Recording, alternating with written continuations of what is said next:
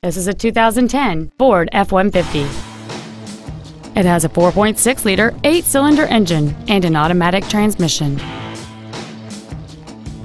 Its top features include a double wishbone independent front suspension, a low tire pressure indicator, satellite radio, and traction control and stability control systems.